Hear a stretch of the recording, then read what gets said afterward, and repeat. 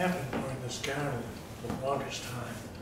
I've recycled a couple pictures from it, but I don't, I've I've sort of taken not to wearing long gowns lately. Just, well, I- to be quite honest, I like my legs, but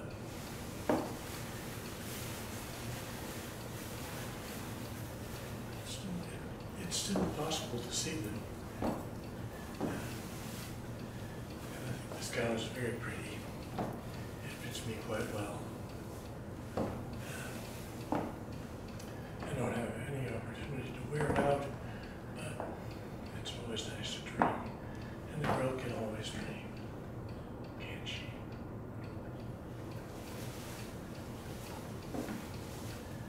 I'm sorry, I- sure did really had clothes on this gown. It just occurred to me that it's getting late. And Cinderella might turn into Cinderella again instead of the princess. So I'll do what I can